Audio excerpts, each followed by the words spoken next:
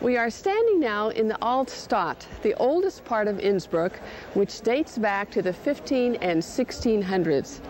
Behind me stands the Golden Roof, built by Emperor Maximilian in 1494. It is interesting to note that in World War II, 22 bombs were dropped on Innsbruck. But because of the protective walls built around the Golden Roof and the great organ of the cathedral, no damage came to them. With its ornamental buildings and signs, its painted houses, and its wonderful shopping, this is one of the most unique places to visit in all of Innsbruck.